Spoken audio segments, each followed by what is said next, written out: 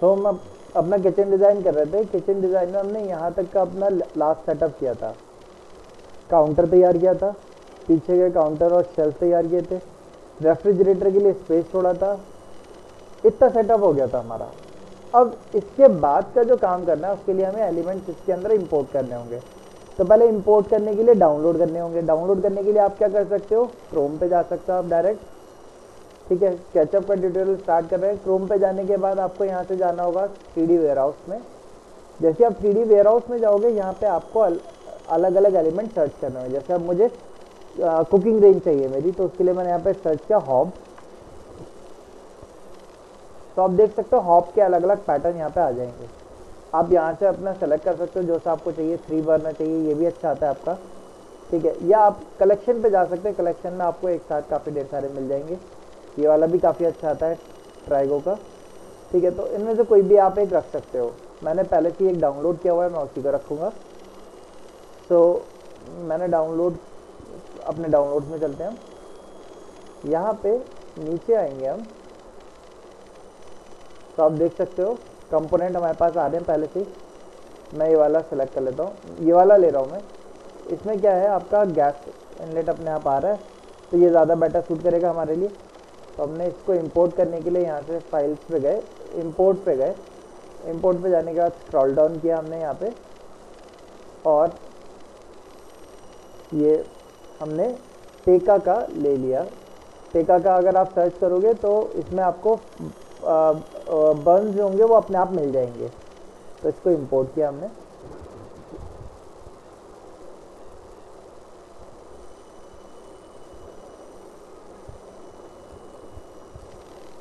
Okay आ गया import हो अब मैं इसको पहले एक कॉर्नर पर अटैच कर देता हूँ। कॉर्नर से मैंने इसको मूव कर दिया पीछे की तरफ़ अबाउट 100 एम एम यहाँ से दूसरी तरफ़ मूव कर दिया हमने 150 fifty M M about counter के ऊपर आ गया हमारा। इसका साइजिंग यहाँ से आप देख सकते हो थाउज़ेंड एम एम हमारा आना चाहिए। थोड़ा सा बाहर जा रहा है, मैं इसको इनवर्ड मूव कर देता हूँ। थाउज़ेंड एम एम इससे आगे नहीं रखेंगे हम। ओके तो हॉप रख दिया हमने। अब नेक्स्ट क्या करना है हमें?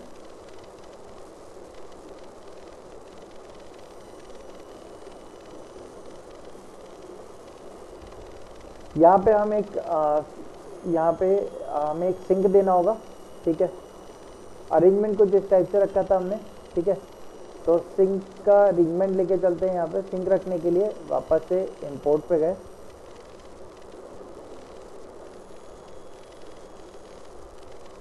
और यहाँ पे आप देखेंगे सिंक एलिमेंट आ रहे हैं हमारे। आप ये सिंगल वाला भी रख सकते हो। सिंगल वाला आपको सर्च करना पड़ेगा तो मैं सिंगल वाला रखने के लिए यहाँ पे चला जाता हूँ। सिंक के नाम से सर्च किया हमने। अभी ये डबल वाले ये आपका सिंगल एलिमेंट वाला है। मैं इसको क्लिक करके डाउनलोड कर लेता हूँ। क्योंकि एक्चुअल में जो क्लीनिंग होगी डिश की वॉशिंग होगी, उसके लिए आपकी पेंट्री यूनिट होगी। ठीक है? तो हम यहाँ से सिंगल वाला डाउनलोड कर लेते हैं।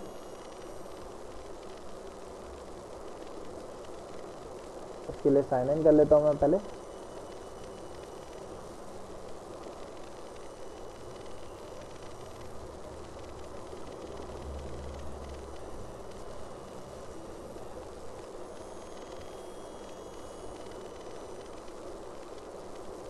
ओके, मैंने यहाँ से सिंगल वाला डाउनलोड कर लिया। ठीक है? और बाकी सब डबल सिंक हैं। ये भी एक सिंगल सिंक है। इसको भी डाउनलोड कर लेते हैं। बैक आते हैं।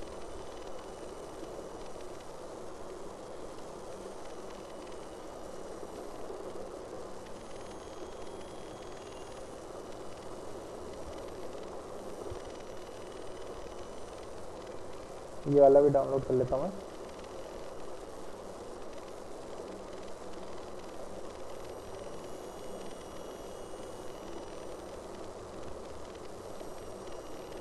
दो तीन डाउनलोड कर लेता हूँ, जिससे कि अगर एक सेटअप नहीं हो पाया तो उसकी जगह दूसरा रख दिया जाए। तो इसलिए मैंने टू टू थ्री डाउनलोड कर लिए हैं। सिंक अब इसको मिनिमाइज करते हैं। यहाँ पे चलते हैं। ऊपर आप देख सकते हो सिंक आ रहे हैं हमारे। ठीक है, इसमें से सेलेक्ट किया हमने। सबसे पहले ये वाला सेलेक्ट कर लेता हूँ। ये भी सही लग रहा है मुझे। सेलेक्ट किया ओपन किया हमने। अब इसको यहाँ अरेंज किया पहले। यहाँ से हमने इसको रोटेट किया।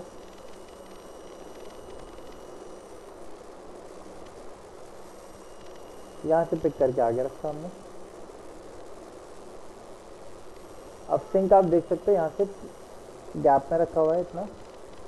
तो पहले मैंने इसको मूव किया। रेड एक्सेस को लॉक किया इसको यहाँ पे। अगेन मूव किया। ग्रीन एक्सेस को लॉक किया। और इसको यहाँ पे रखा। देन वापस से मूव पे गए। इसके बॉटम को हमने इसके टॉप पे रख दिया। ये आ गया हमारा। इतना करने के बाद मैंने क्या किया? सिंक को डबल क्लिक किया। वापस से डबल क्लिक किया। अगेन डबल क्लिक किया। ये इसकी एज को पकड़ लिया हमने।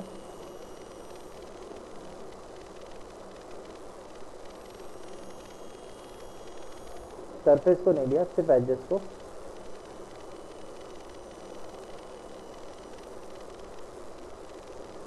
कॉपी किया इस सरफेस को कंट्रोल सी एस्केप किया।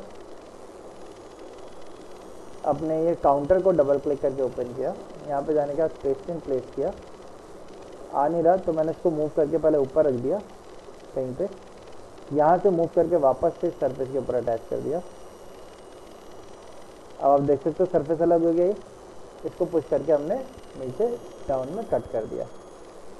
ठीक है, क्योंकि सिंक आएगा। सिंक आएगा तो नीचे से कटआउट लगेगा। ठीक है, अब अगर जैसे मुझे ये इसका फॉसेट जो है वो सही नहीं लग रहा है। तो मैं मिक्स एंड मैच करके यूज़ कर, कर कर सकता हूँ। उसके लिए क्या है जैसे इसका फॉसेट मुझे सही लग रहा है तो मैं इसका फॉसेट ले लूँगा। टैब और इसके टैब को डिलीट करके उसको रिप्लेस कर देंगे। तो इस तरीके से किया जा सकता है। अच्छा सिंक हमने कर दिया यहाँ पे। बट एक्चुअल में क्या होगा जो सिंक हमें कट करना है ना इसकी एक मार्जिन ली जाएगी पहले। अंदर की तरफ़ हमने गैप ले लिया। पंद्रह एम का। अब इस पंद्रह एम वाले को हमने अंदर कट कर दिया। ठीक है, जिसके ऊपर आपका सिंक रेस्ट करेगा। पंद्रह से बीस एम का गैप ले सकते हैं आप ये अच्छा मैंने एक सेपरेट एलिमेंट खोल लिया था। इसमें से मैंने इसको सेलेक्ट किया कॉपी किया कंट्रोल सी आप चाहो तो ये भी रख सकते थे। कॉपी किया। यहाँ पे गए।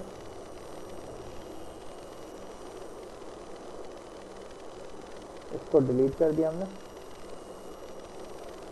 कंट्रोल वी किया स्पेस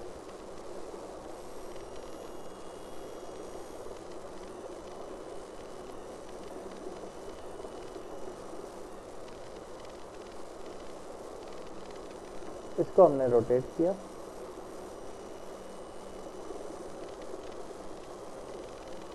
मैंने इसको यहाँ से कट किया ये एक काम करते हैं। इसको भी हटा देते हैं हम। हम इसके यहाँ वही वाला सिंक रख लेते हैं। वो सही रहेगा। हाँ वही वाला रख लेते हैं।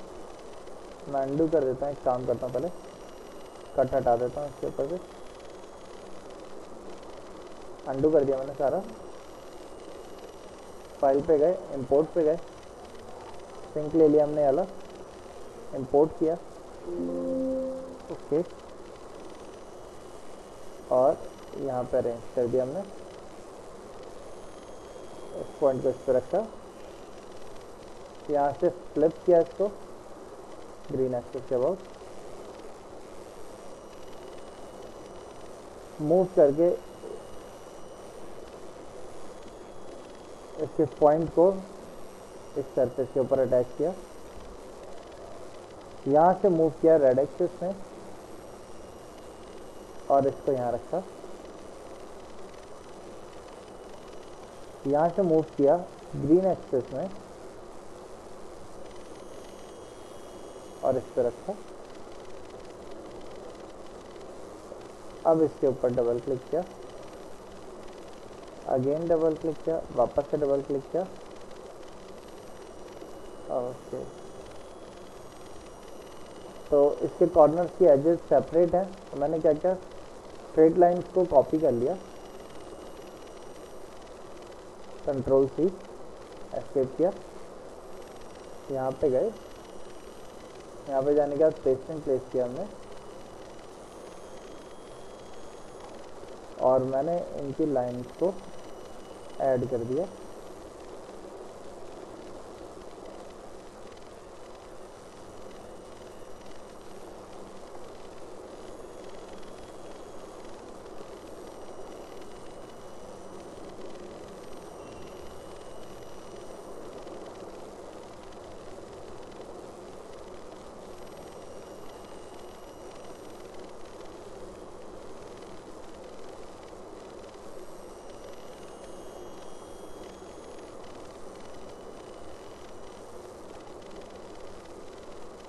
इस सरफेस को मूव करके पहले मैंने ऊपर रख दिया।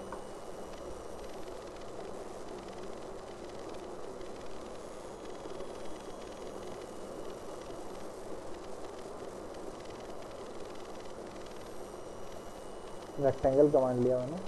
कॉर्नर टू कॉर्नर एक अच्छा अच्छा गैप रह गया अभी। ओके सरफेस आ गया। इसको मूव किया। सरफेस के ऊपर अटैच किया। हाँ।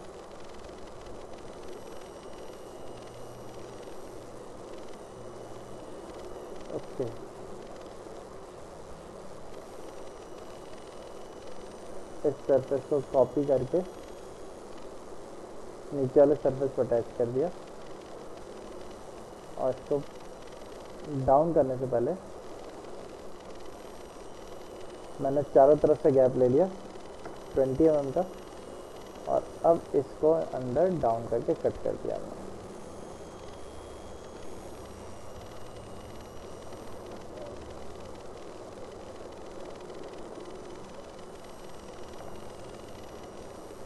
ट्वेंटी एम का गैप ज़्यादा ले लिया था टेन का ले लेते हैं। खाली ठीक है सिंक आ गया हमारा।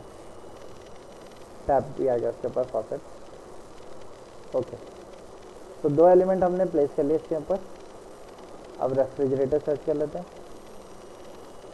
ये भी मैंने डाउनलोड करके रखा हुआ है पहले से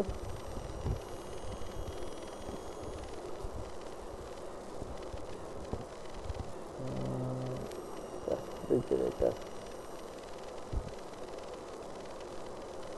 हाँ है नहीं? ये आएगा ठीक है। डबल फ्रिज वाले को इसको इंपोर्ट कर लेते हैं पहले।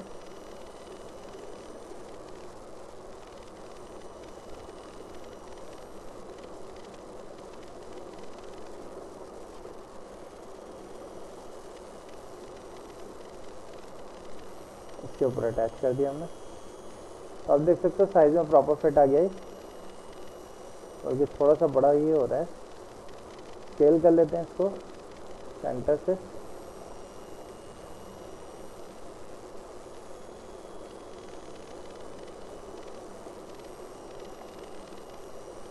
ठीक है?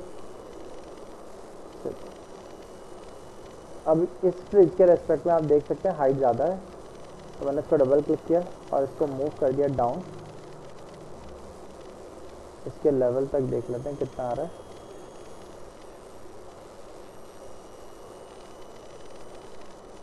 Two hundred M M down करते हैं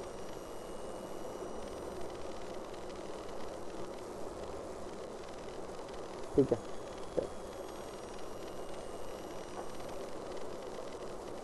तो फ्रिज भी रख लिया हमने। हॉप भी आ गया। ये भी लग गया हमारा। अब इसके हॉप के ऊपर हमारी चिमनी आएगी। तो चिमनी हम यहाँ से डाउनलोड कर लेते हैं।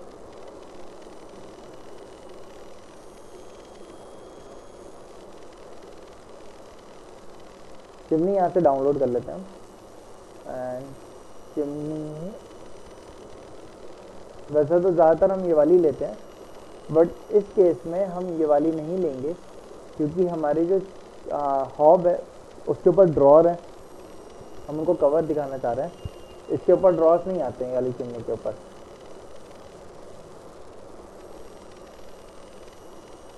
तो मैं याली चिमनी ले लेता हूँ। मैंने इसको डाउनलोड कर लिया।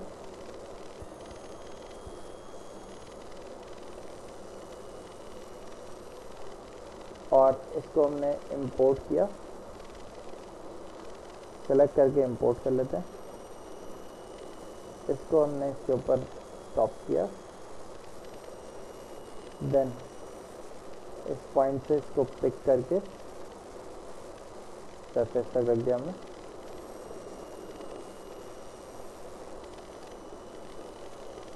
इसको हमने वॉल से अटैच कर दिया।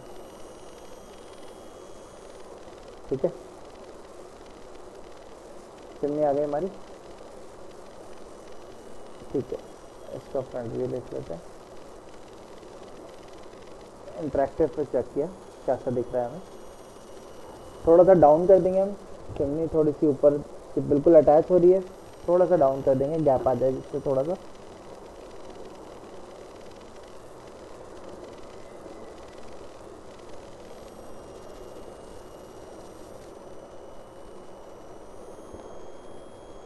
ठीक है, और चिमनी का कलर भी ब्लैक की थीम पे रखे रहेंगे, उसको भी ब्लैक कर देंगे।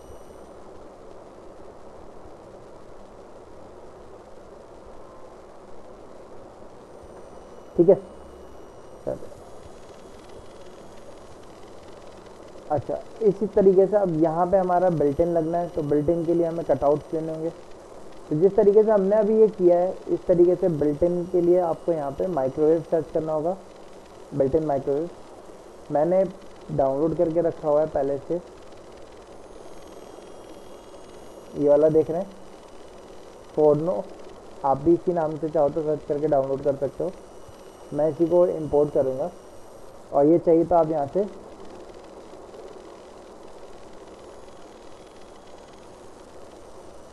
ठीक है माइक्रोवेव के नाम से सर्च कर सकते हैं, यहाँ पे आ जाएँगे। या अवन के नाम से आप सर्च कर सकते हो तो भी आ जाएँगे आपके ठीक है? माइक्रोवेव या अवन के नाम से सर्च करिएगा। ये वाले आपके ओपन टाइप वाले होते हैं। ये आपके बिल्टन वाले होते हैं। ठीक है तो इस टाइप का हमने पिक किया है। ये आ गया आपके। फ़ाइल पे चलते हैं हम। इंपोर्ट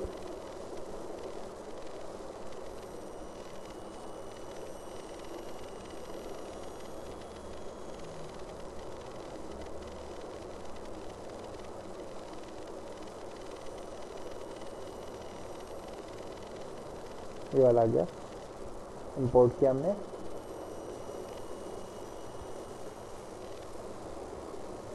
अभी मैंने इसको रैंडम प्लेस पर रख दिया। देन मैंने इसको इससे पिक किया। यहाँ पे रखा। इसको मूव करके आगे ले आते हैं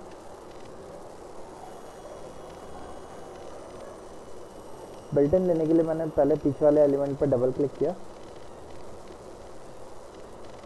यहाँ से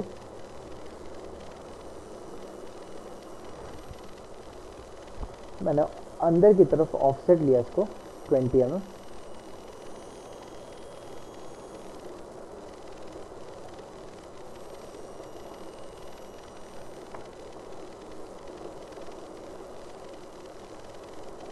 और ये वाली एज को उठा के ऊपर रखा 450 फिफ्टी एम पे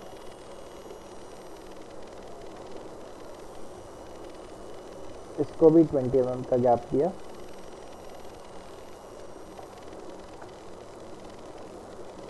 देन नेक्स्ट कैप मैंने यहाँ से दे दिया 600 हंड्रेड एम का।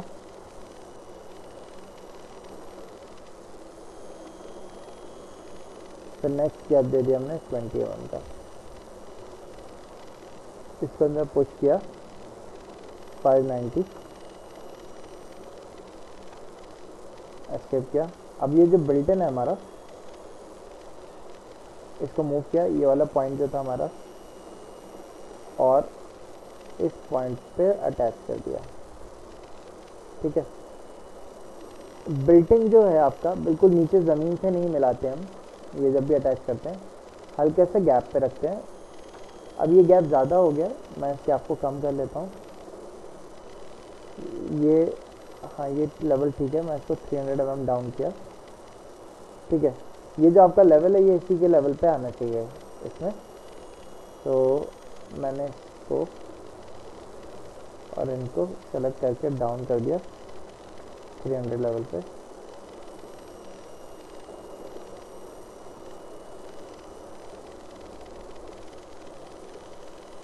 इसी को कॉपी करके मैंने ऊपर रखा। फोर सेवेंटी इसको पुश कर दिया यहाँ तक। इनको सेलेक्ट किया मूव किया। डाउन के दबा के शो किया इसको। ये 51 दिखा रहा है 50 डाउन कर दिया हमने। ठीक है। तो इस तरीके से हमने बिल्टन अरेंज किया। इसके ऊपर फिर हमारे कबर्ड्स वगैरह का अरेंजमेंट रहेगा। तो या तो आप एक पोजीशन यारी लॉक कर सकते हो, या फिर आप इसको, इस पोजीशन को इसके लेवल पे लाके लॉक कर सकते हो। तो इसके लेवल पे लाने के लिए 300 का गैप देना पड़ेगा हमें। और वाई दबा के यहाँ से इनको भी पूरे को सॉरी अप करना पड़ेगा 300 300 इसको भी 300 ठीक है, ये दो आपकी पोजिशनिंग हो सकती है। ये ज़्यादा बेटर सूट करती है क्योंकि इसमें नीचे फिर हमारे पास अरेंजमेंट सामान रखने के लिए स्पेस मिल जाता है हमें। ठीक है? तो ये वाला रख लेते हैं हम। ऊपर फिर हमारे यूटिलिटी स्पेस का ड्रॉर रहेगा। ये पूरा ही हमारा एक यूटिलिटी स्पेस ड्रॉर होने वाला है। ठीक है? तो इसको ऐसे रहने देते हैं अभी के लिए। कोई कट नहीं कर रहे हम। ओके अब इसमें फर्नीचर प्लेस करना रह गया है। फर्नीचर यहाँ पे हमारे आएँगे। ठीक है, और इसके ड्रॉर की कटिंग रह गई है। वो नेक्स्ट सेशन में हम करेंगे। अच्छा एक चीज़ और यहाँ पर मैं आपको बताना भूल गया। यहाँ पे भी हम इस कॉर्नर में अपना एक डिश वॉशर अरेंज करेंगे। इसीलिए यहाँ से स्पेस भी हमने लिया हुआ था। सिक्स थर्टी का लिया हुआ है। ठीक है सिक्स हंड्रेड का आपका डिश वॉशर का स्पेस आएगा। ठीक है तो उधर डिश वॉशर हमें एक अरेंज करना होगा। तो वो नेक्स्ट क्लास में डालते हैं हम। आज के सेशन में इतने रखते हैं। बाकी और अरेंजमेंट इसी तरीके से आप लोग करेंगे। जैसे यहाँ पे आप चेयर्स डाल सकते हो। ठीक है इसी के ऊपर कोई फ्रूट बास्केट रख सकते हो। ठीक है इंडक्शन की आजकल हॉब इंडक्शन वाले हॉब आ रहे हैं। आप चाहो तो वो भी यहाँ पे अरेंज कर सकते हो। ठीक है तो वो चीज़ें आप लोग को अरेंज कर लेनी है। ठीक है, फिर नेक्स्ट सेशन में इसका मटेरियल अरेंज करना और बाकी के और फर्दर डिटेल्स देना। वो नेक्स्ट सेशन में करेंगे हम। ठीक है?